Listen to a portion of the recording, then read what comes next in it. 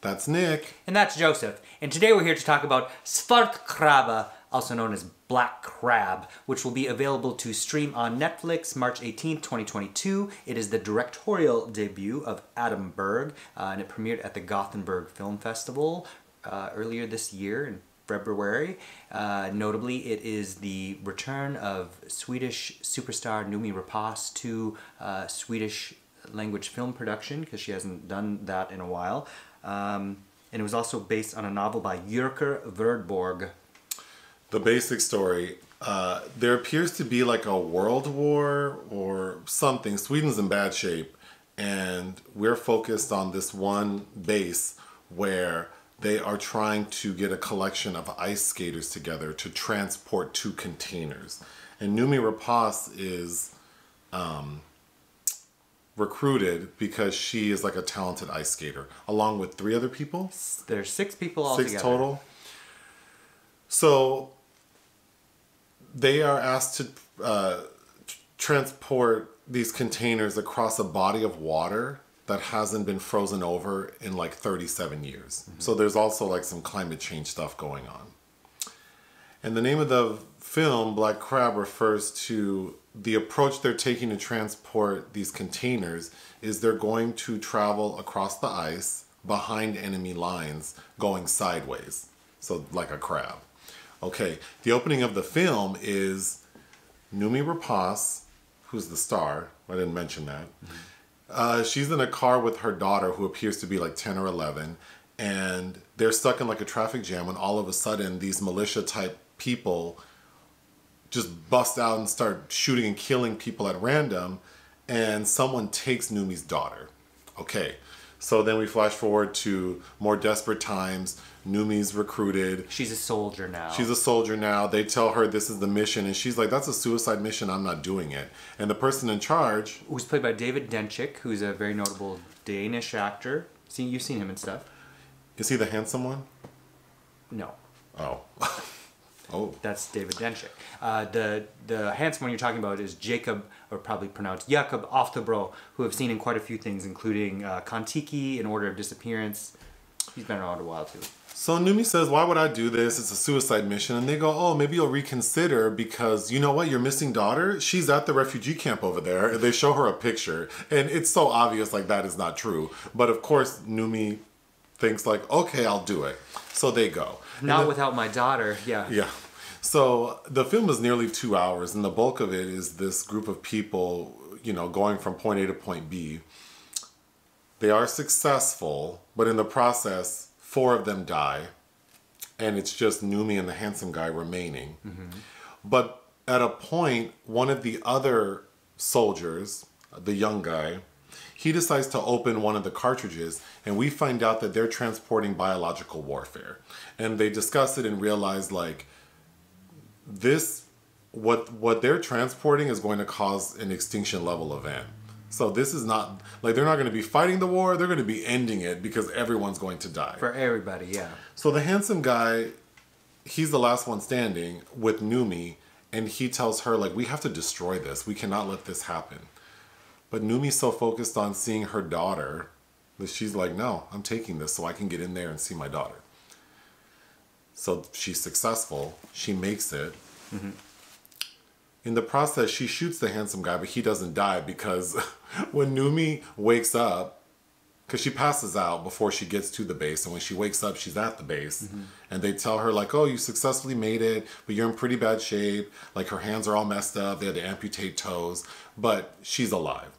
They get her dressed up in her uniform and take her to the um, to the admiral in charge. I need to fix this lighting, but we're going to keep going. Um, they take her to the admiral in charge, mm-hmm. and the admiral, you know, gives her like a medal of badge of honor, blah blah blah. And Noomi's like, "That's all good and great, but I need to see my daughter." And the admiral says, "Oh, she's not really here. We just told you that because we knew it would motivate she you. goes, it was that hope that got you here for this mission. Cut to Noomi whoops that as- admiral's ass. Mm-hmm. and then after she's done whooping her ass, she goes back to her little area and has like, I guess, she decides, oh, I guess we should destroy the biological warfare. So she finds the handsome guy. Because she knows if that gets out, then her daughter definitely will be dead. Her and the handsome guy go find it. They're able to escape the base, but it's kind of like everyone's evacuating, all guns are on her, and she has to make a decision. An executive decision. And she decides to, um, like, uh, what do you call it? A Uh, grenade.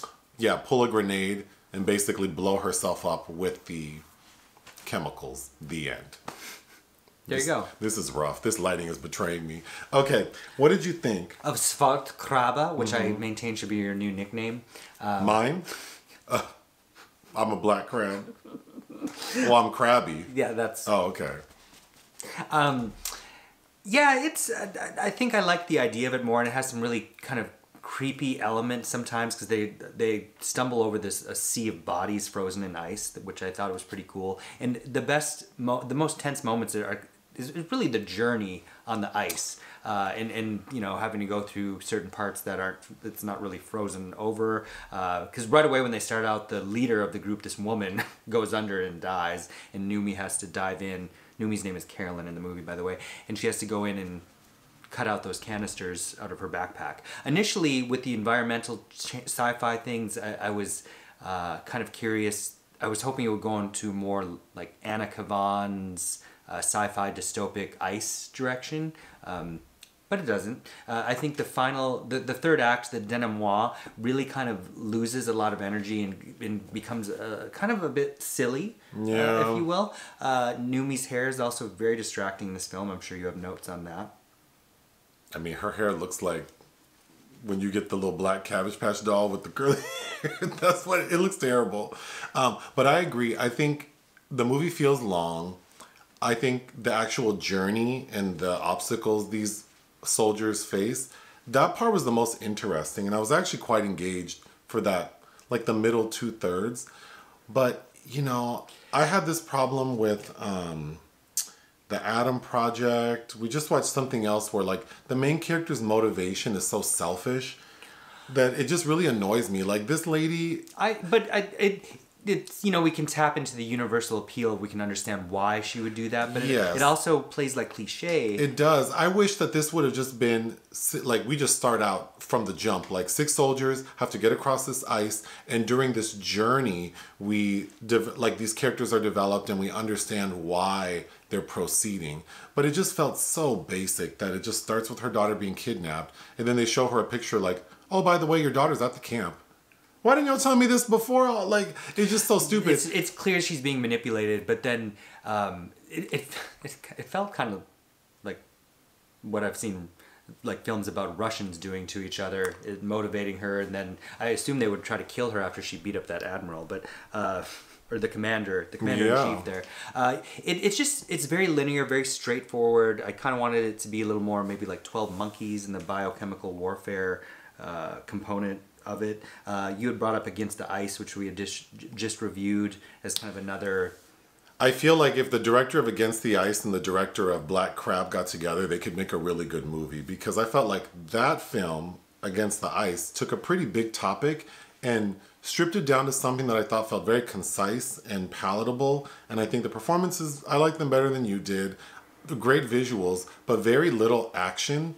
And then I think in this film, the director really does a good job of creating a lot of tension while these people are traveling over the ice. So those two need to get together and make a movie.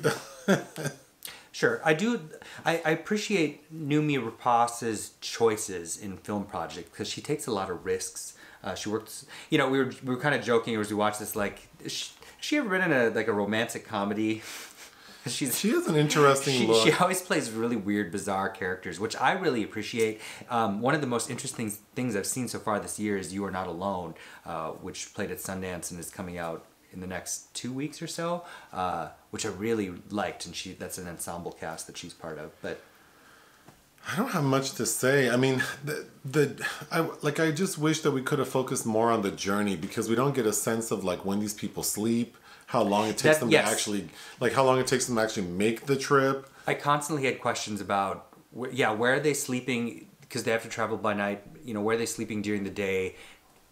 because they kind of have to go off on land and build fires, and and they're constantly being detected by, you know, uh, enemy forces all around. So it, you know, yeah, there was some logistics that I was very curious about. but- Also, Noomi's character is like a professional ice skater. It would seem A speed skater. turns or speed skater turns soldier, and she is very competent with firearms and battle. And I thought that was weird. because they trained her. Yeah, but like she's like She's very good. she's very like okay, Yeah, th- there are some distracting elements for sure. like this lighting. Uh, what would you give? Or did you finish your notes? Sure, What would you give it? uh, two and a half. I would give it two and a half as well. Thank you.